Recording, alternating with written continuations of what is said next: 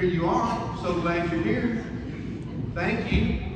I want to, before I get into what I want to say to you today, um, I echo the, the statements that have been made today about it's wonderful to walk in these doors. The fellowship, the love, the joy, the singing, it's all wonderful. We're so blessed to be here today. So blessed that God brought us together today. But where we're really truly blessed, folks, is that we live in a nation where we're able to do this. Amen. Now, we just celebrated the 4th of July, so we're on the aggregate of it. But America is not perfect, and we all know it. But I'm going to tell you something. It is still the greatest country that the world has ever known. And it's because God has blessed us. So let's do this. Oh,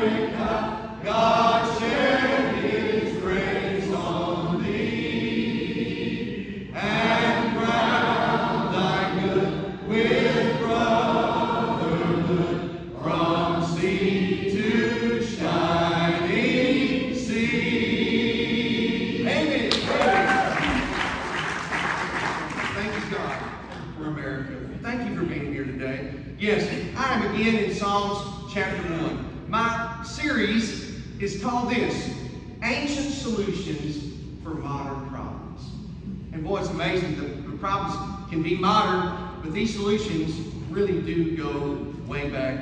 You know, uh, I just mentioned what a wonderful country we live in and that it still has problems. I'm reading from an article that came out on CNBC uh, just December of last year. It's the, the uh, topic is this: youth suicide rates rose 62% from 2007 to 2021. People feel hopeless. One recent graduate said. Young people dying by suicide has been an alarmingly frequent headline in recent years.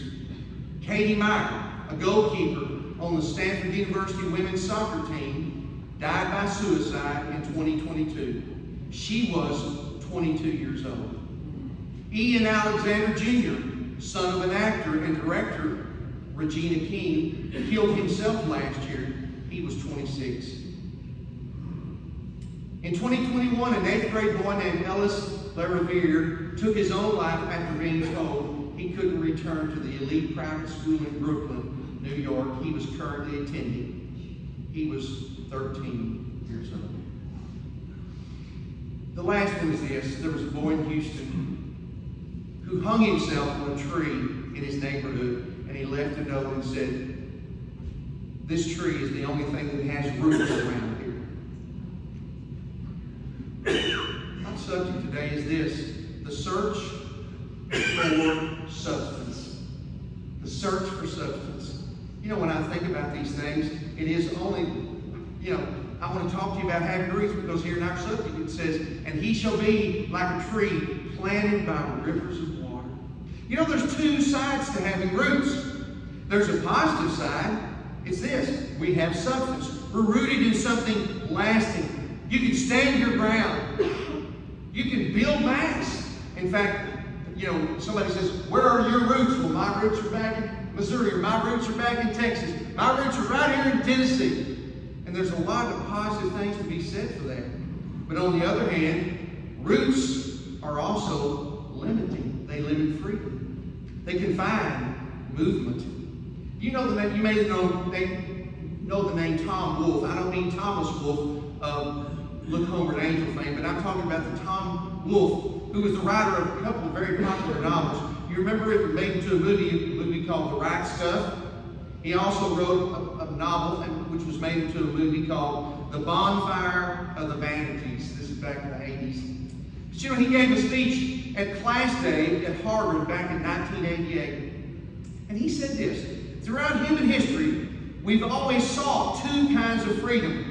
We've always sought, looked for two kinds of freedom. Number one, freedom from tyranny, which means freedom of religion, which we just celebrated. freedom of choice. Freedom of speech, freedom of the press. That's freedom from tyranny. That's the first one. The second one we've always sought is freedom from want. That means the ability to feed my family, to work, have a job, these sort of things. We've always sought those two kind of freedoms. But in his speech, he said, we are now looking for a third kind of freedom. And he said, it's freedom from religion. He put it this way it's freedom from that internal monitor that your parents put there or your preacher put there. This little monitor says, Oh, you better not do that.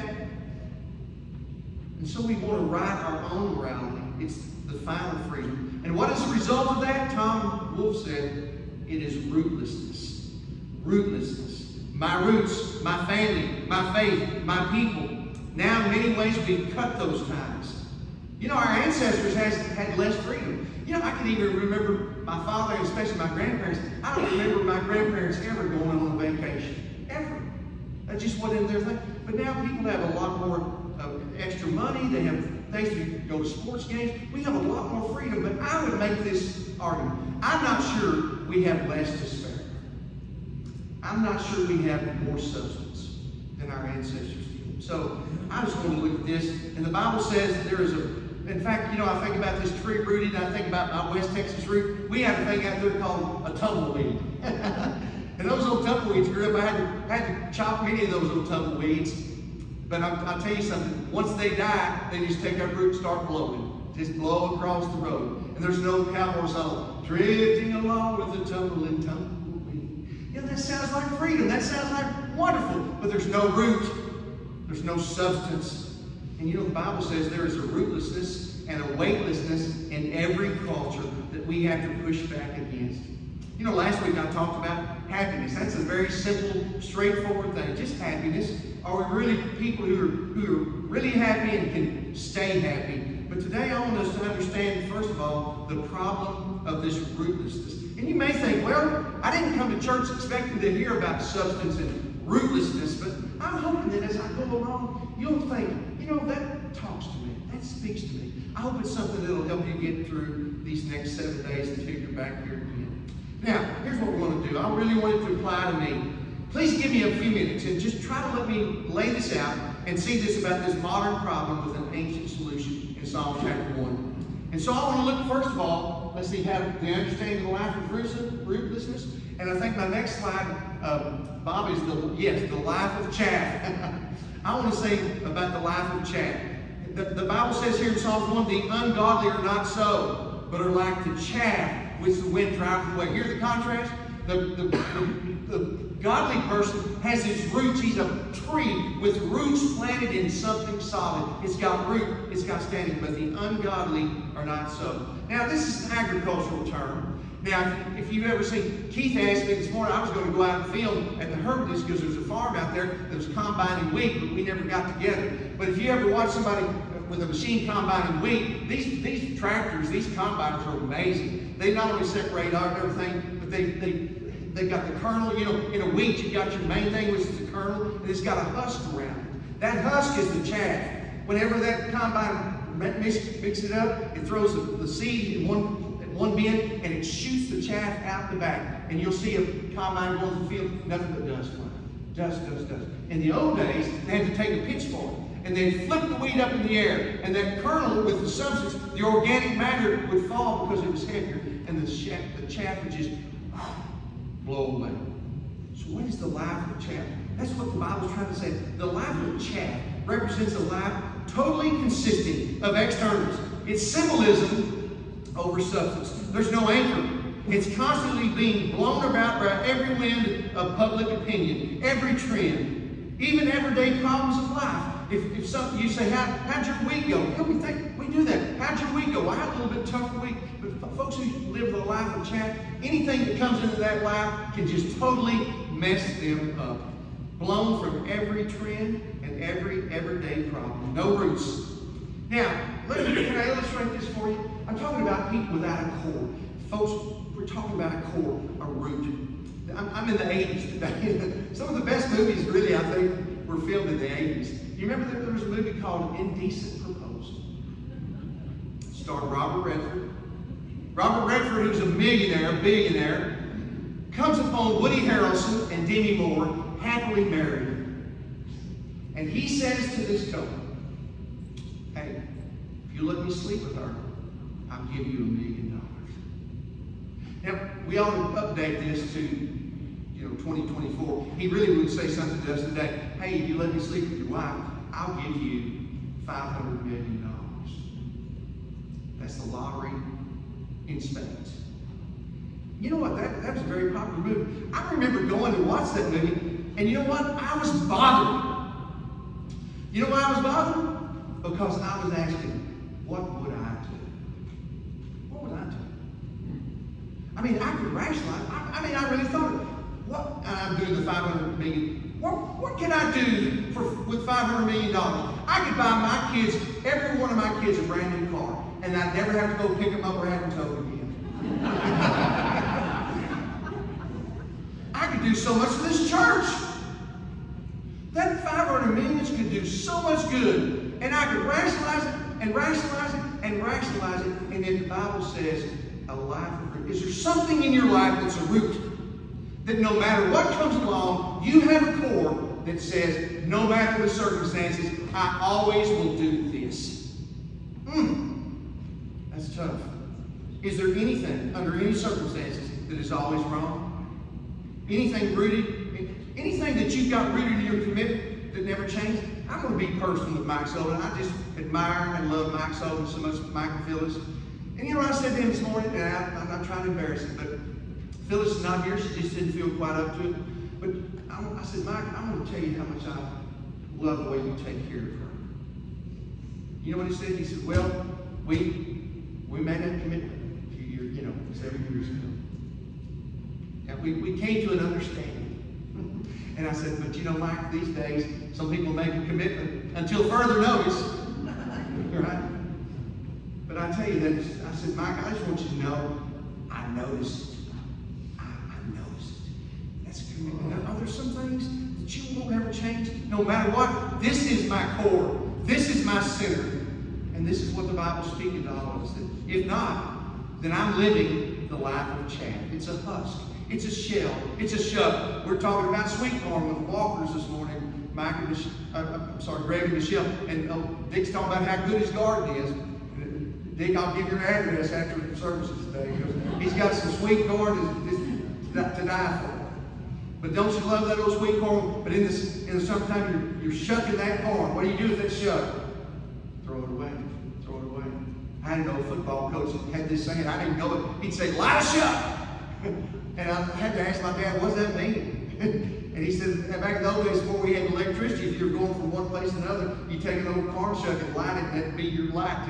And you better hurry because it to last. it's going to burn out quick. But that's it. That, this life of chaff is like a, it's like a shuck. It's like a husk. It's a shell. That's the life of. But then it says the ungodly. I want to talk about the ungodly, ungodliness versus wickedness. Now I love, Bob, thank you. For, that's the old King James you threw up there today. And I appreciate that. Now I, I grew up with the King James. And you know, blessed is the man that walketh not in the counsel. The, the new translations say the wicked. But really the old translation is the best. Blessed is the man that walketh not in the counsel of the ungodly. And why is that important? Because I got to tell you this. Wicked people, we know this, wicked people are always ungodly. But folks, Ungodly people aren't always wicked. You hear what I'm saying? I want you to understand that.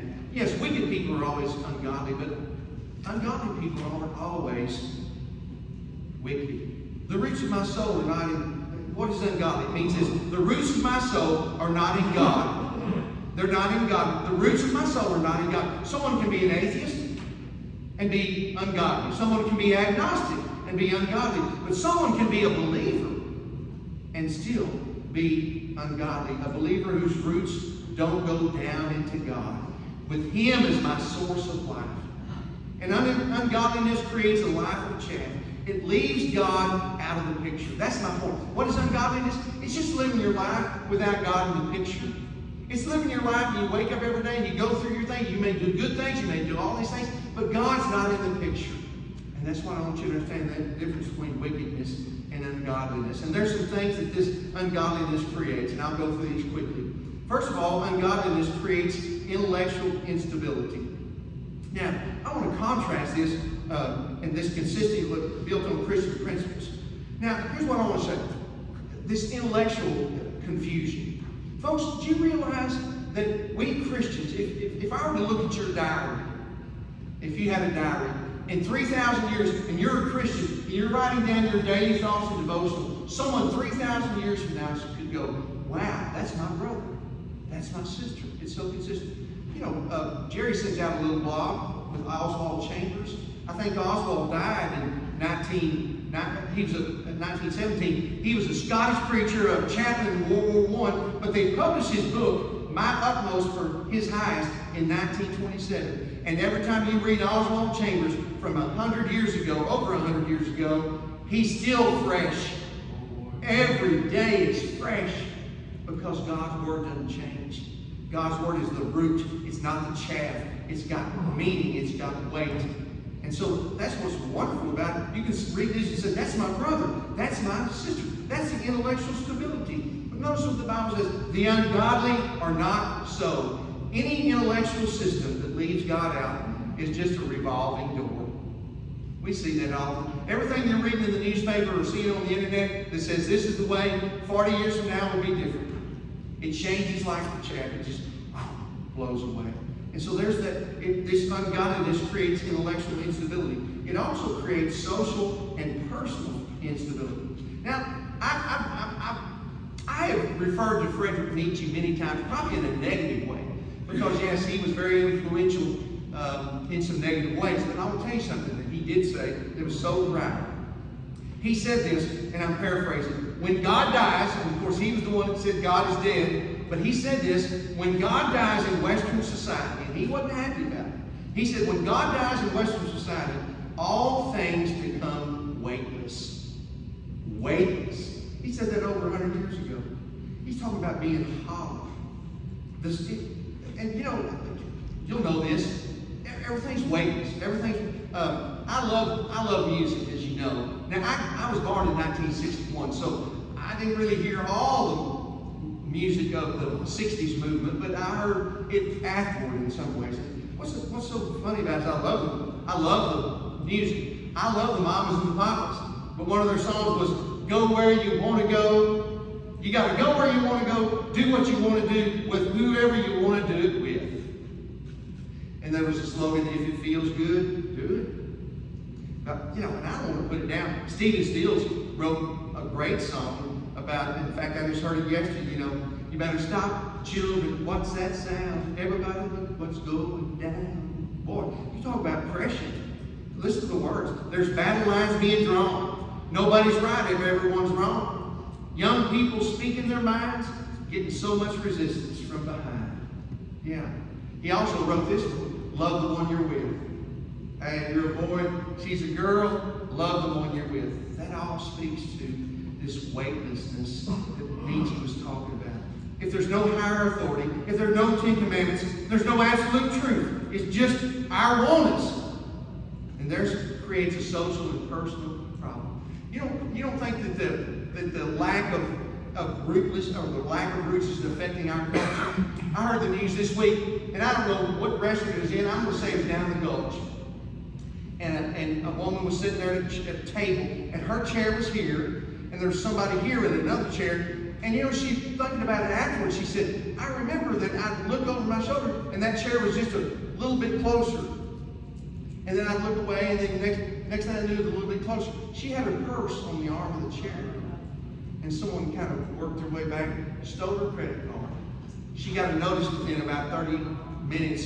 Someone had spent $4,000 at the Apple Store. What is that? It's called go where you want to go, do what you want to do, to whomever you want to do it to. That's the weightlessness that we're receiving in our society today. It's just that. And I got to be honest with you, it's created a lack of trust. I think I think people in America trust people less than ever before. I, I think you trust preachers less. I get that. I think we, we certainly trust politicians. I don't even think we trust the doctors anymore, folks. I really don't. How many times through all this COVID stuff, we were told this and told this and told, and a lot of are just simply lies. And I think this idea of rootlessness affects even our social and psychological, social and personal life. And this, the final thing, not only does it, does it affect uh, intellectuals, ability, and social and personal things, but it also creates what I want to say is a psychological instability. I really think that's true because if there's no core, my life becomes a series of masks. A series of masks that I wear. I'm reading, I'm about to finish up the book about Hitler. You know, and I'm, Hitler is a caricature for most of. He just represents evil, but you know, he's more than that. He was very wise, he was very crafty, he knew what he was doing. But you know what this book tells me? The thing I got out of Hitler was a great actor. He could put on a mask for whatever the situation required. And folks, that's what many people do when they're living the life of chaff. They just put up a front. Whatever the mask requires, whatever the situation requires, that's where we can go and be. And this is what the Bible's saying. The ungodly are that way, but the godly are not so. The tree planted by the river. So there's understanding the problem of rootlessness. Can I can I give you some solutions? Before I do, I want to offer an invitation. And I don't mean standing and coming down front right in that context. I want to offer an invitation to every single one of us because what I've been talking about this morning is something that affects me, that I'm convicted of. Folks, everyone, every single person in this room is affected by this rootlessness that's in our culture, that is creeping in and causing us to just blow with the wind, whatever it might be. People are blowing from marriage to marriage, from church to church, wherever the winds may blow, because they feel no and have no core, no root. And you know, we don't use the word chaff anymore. One of the words we use is fluid. Even gender has become fluid. Wow. So my invitation to you and me is this. Uh, the, the privilege I have of preaching to you is this. I have to study it, and I have to get convicted. And then I sometimes I say, how are you going to get up there and tell these people when, you're doing the very same thing? I'm confessing to you, but I want to say to everybody an invitation to come to Jesus Christ because He's the only thing that has roots. He's the only thing that has roots. And I want to tell you what the gospel is. I want to give you a solution. But all of us today, I want you to understand we're being pressured in this rootless society. Chaff. It's chaff. And the Bible says this is the, the type of people we want to be. So here's the solution. How can we live a life of substance? This hollowness is creeping in on us. There's pressure. There's all kind of pressure. What's the answer? And the answer is the difference between the tree and chaff. I don't even know what I put up there. Did I put anything else up there? Okay, here it is. We must be rooted in God's truth. What do I mean? The difference between the chaff and the tree. The chaff is connected to nothing. Connected to absolutely nothing. Tree, look, listen to this. The tree is connected to something beyond itself. It sinks its roots into something outside itself. We must be rooted in God's truth. Why do I say that? Because there is, uh, I'll explain. Uh, I want to show you a parallel. The parallel is this. His delight is in the law of the Lord, and he'll be like a tree planted by rivers of water. How's he a tree? How's he planted? His delight is in the law of the Lord. This tree has sunk its roots into God's truth. God's truth. You remember, does anybody recall the rock opera written by Andrew Lloyd Webber and Tim Rice called Jesus Christ Superstar? There were some great songs from that. But you know, I'll tell you the one part that I went back and watched was Jesus' encounter with Pilate in this rock opera called Jesus Christ Superstar.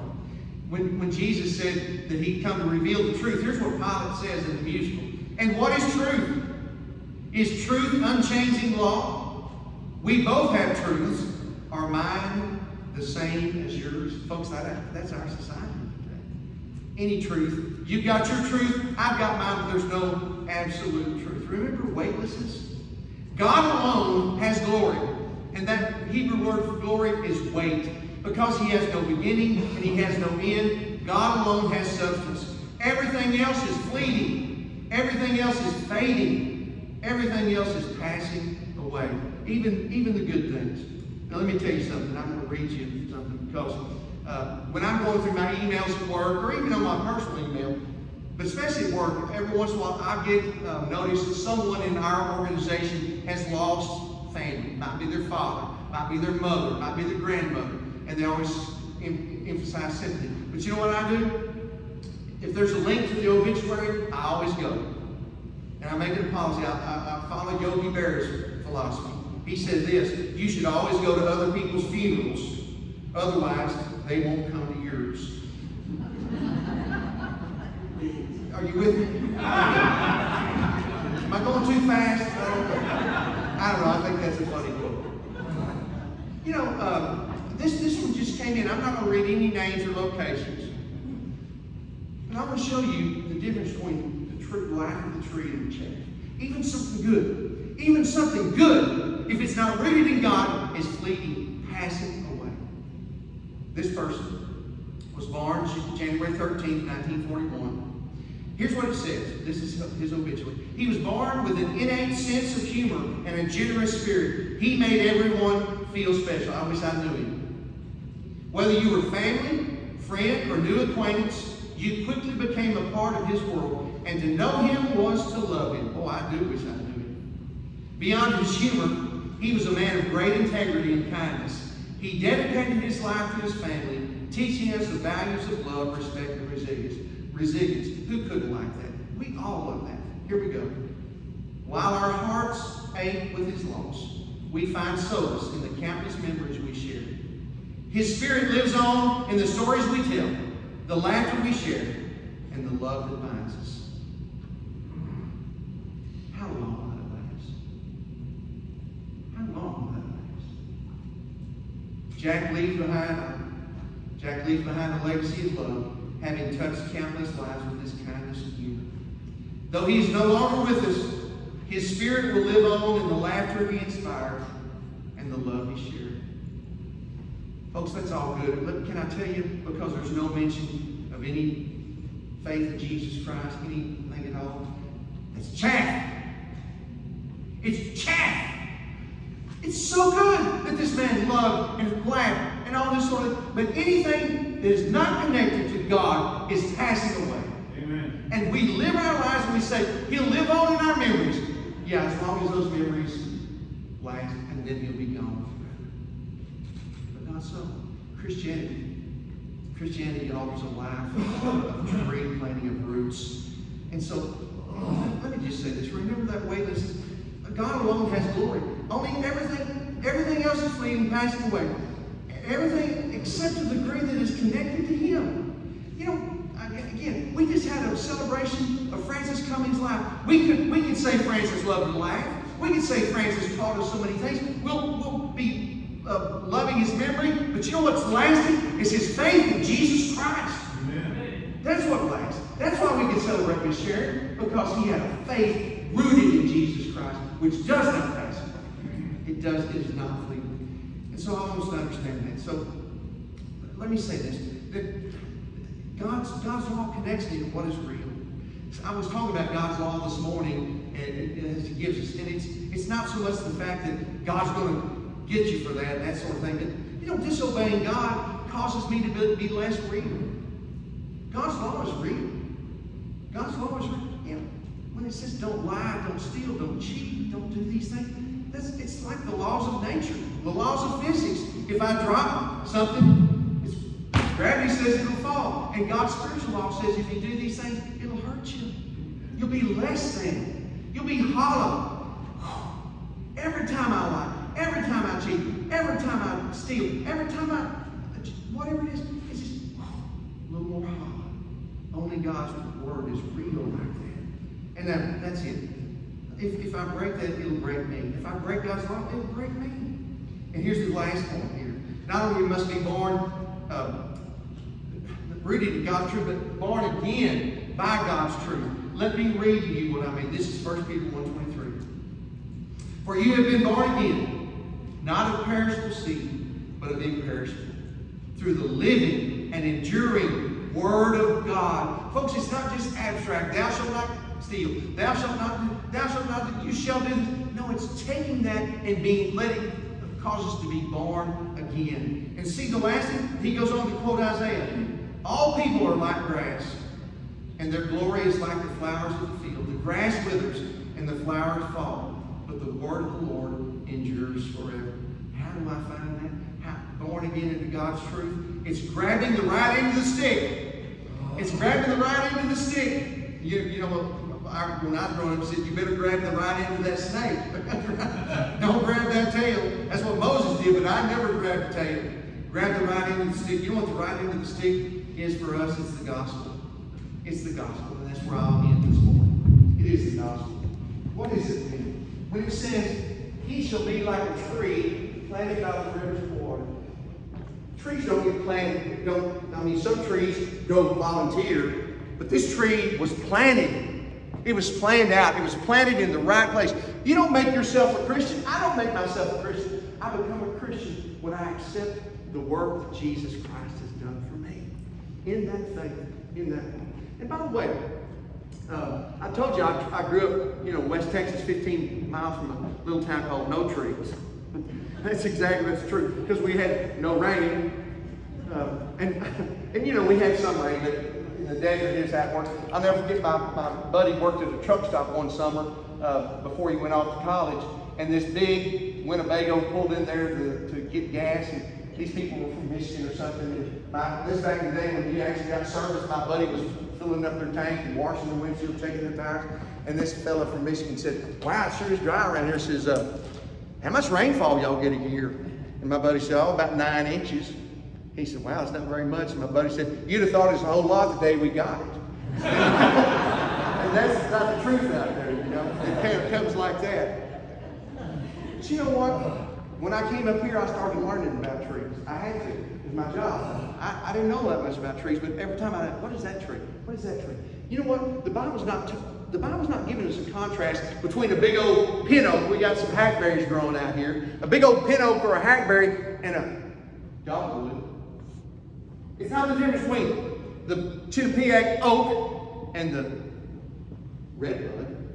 This is the tree versus the you see the difference? It's all around us, folks. It's pressuring in on us. It's coming in on us every time. And we've got, with the, with the gospel, we, we push back against that chaff to say, I want to plant my life in Jesus Christ because he lived the life I should have lived and he died the life I should have died. And now because of him, I can be accepted. And you know what? When they read my obituary, I don't know how many good things you're going to say about how much I learned to love or inspired laughter, but I hope they say, and I know they'll say, he's with Jesus because he put his faith and trust in the sacrifice of Jesus Christ. Amen. That's it. That's all. And that's what I'm inviting all of us to do today. To give our lives because he loves us so much and what he did for us. Trust in that loving, saving work of Jesus Christ. Mark, let's stand.